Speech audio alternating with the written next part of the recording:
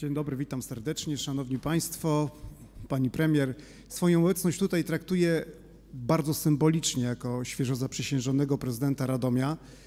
Jest mi niezwykle miło, że w obecności Pani Premier, parlamentarzystów, ministrów, e, tak wybitnych samorządowców mogę mówić, być tu z Wami, mówić głosem Radomian, mówić o ich e, potrzebach, o ich nadziejach, a przede wszystkim mówić o mieście, które w tych ostatnich wyborach samorządowych tak bardzo pokazało, jak ważna jest e, siła demokracji w naszym kraju.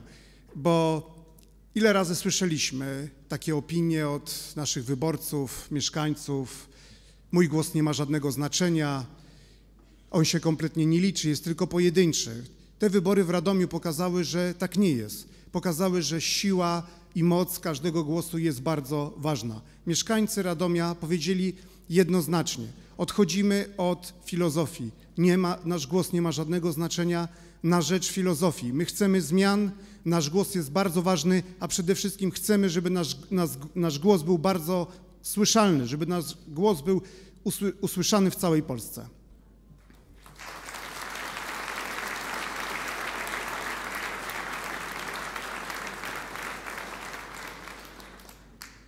Proszę Państwa, 11 lat to moja historia z Platformą Obywatelską.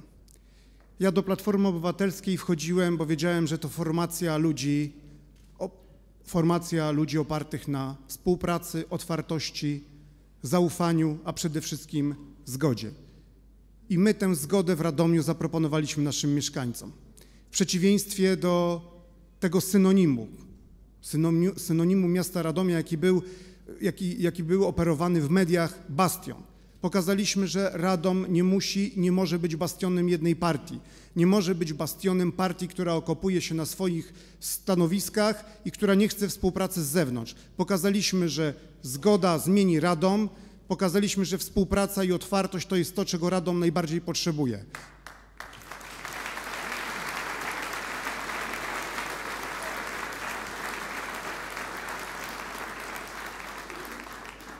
Ale zrobiliśmy to tylko dlatego, że byliśmy wiarygodni.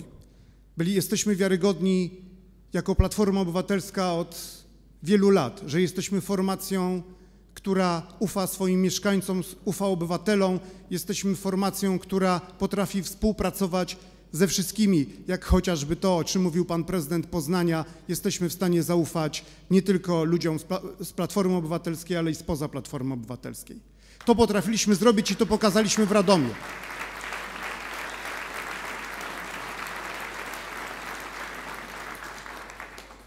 Proszę Państwa, jest jeszcze jedna rzecz, o której chcę powiedzieć.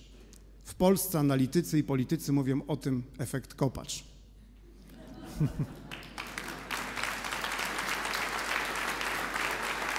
Proszę Państwa, my w Radomiu nie mówimy efekt kopacz, my mówimy efekt Ewy.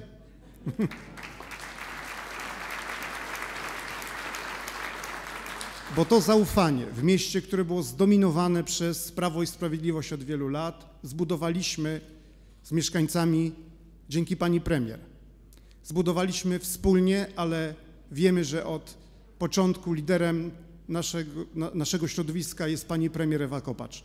Pani premier, ja serdecznie dziękuję w swoim imieniu, ale dziękuję również w imieniu wszystkich radomian, wszystkich, którzy nam zaufali i wszyscy, którzy oczekują, że Platforma zmieni Radom bo zgoda zmieni Radom i my w Platformie o tym wiemy najlepiej.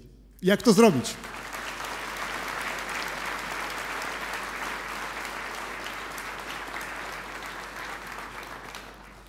Proszę Państwa, i na koniec. Przykład Radomia pokazuje, że wszystko jest możliwe. Za rok wybory parlamentarne i chcemy tym symbolicznym przykładem Radomia pokazać, że w przyszłym roku możemy odnieść kolejne wielkie zwycięstwo, bo Polska potrzebuje polityków otwartych, którzy działają w oparciu o zaufanie i potrafią budować zgodę. Dziękuję serdecznie.